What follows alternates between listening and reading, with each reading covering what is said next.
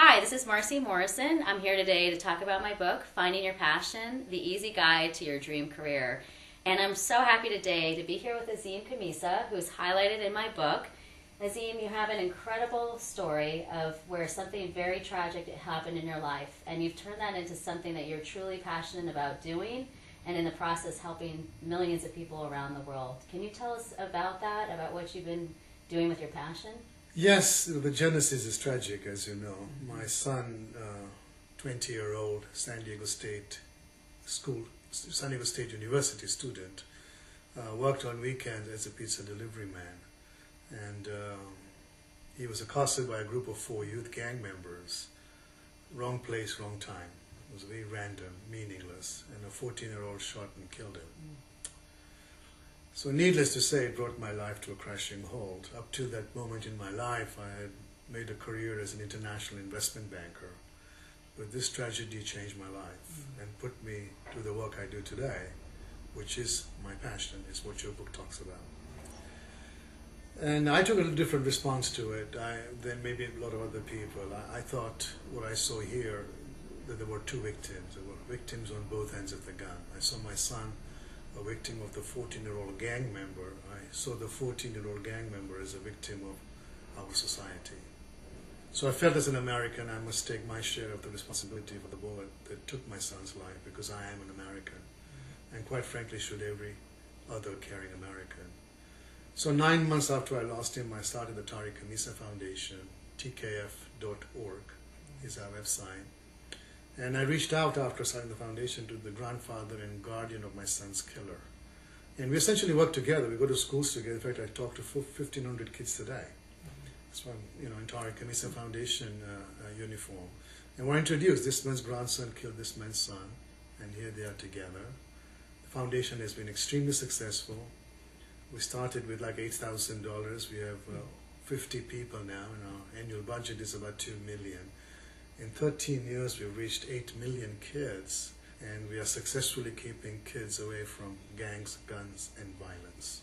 That's fantastic. And Azim um, not only helps people through TKF, but you also have an incredible way and tools that you're helping people through your website, azimkhamisa.com, where you have just published a book with Random House, and you also have tools to help people uh, walk through the process of forgiveness through a, two other books and a, and a CD series. Can you talk briefly about that? Yes, yeah, I, I do a lot of work in helping teach people how to achieve peace through the practice of forgiveness. Right. And this means I speak a lot, I do workshops on forgiveness. I've written, as you mentioned, and authored three books. The, the latest one just came out with Random House. And my goal here is to create some healing and peace in our world. My first two books are from Murder to Forgiveness. The second was, was from Forgiveness to Fulfillment, as I'm really fulfilled with the work I'm doing today. And the last one is The Secrets of the Bulletproof Spirit, How to Bounce Back from Life's Hardest Hits. And it essentially chronicles my journey.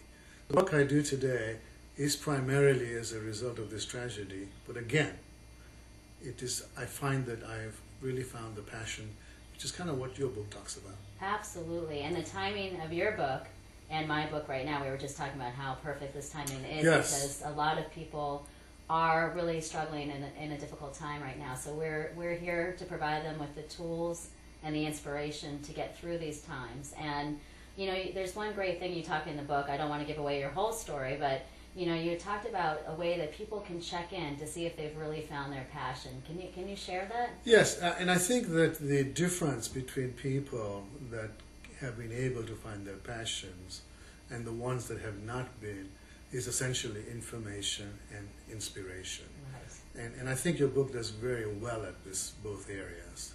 And, and, and I think that uh, what you find, at least what I found in my journey, that what lies within you is far more greater than what lies ahead of you or behind you.